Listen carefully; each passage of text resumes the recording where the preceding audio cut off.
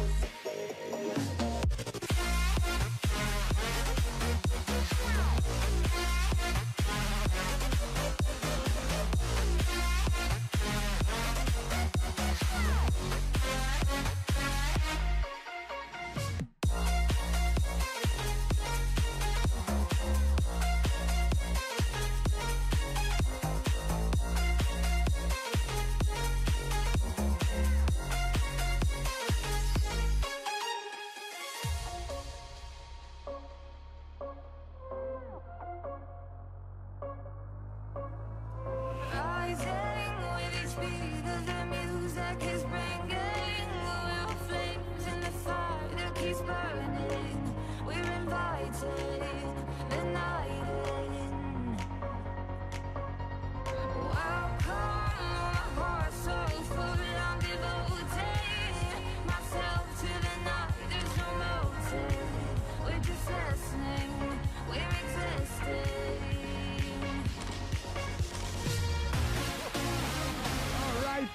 Tala, how was it? The first thing I didn't expect is how to breathe. when you come out of that plane, the air makes it impossible to breathe. You have to adjust, turn your head a little. It's my only advice. The next person doing this is prepare to breathe. but it was awesome. Yes, I jumped out of an airplane at 13,000 feet above Dubai for my birthday. And my wife jumped before me. She didn't push me. The cool thing is, my home is right here. I got to watch it get bigger as I fell to the earth. It was completely safe. There were two parachutes in case the first one didn't open. And here is my wife, Xenia, jumping out of the same plane just before I did. An amazing experience. Thank you, Xenia, for that birthday present. And even on my birthday, I still went swimming 20 laps, half a kilometer, so I got my exercise. Do you get your exercise every single day? If not, why not? Here I am at the gym, cycling just to get you started and pumped to do the same. You can see I'm the only one here. It's a little sad, but yeah.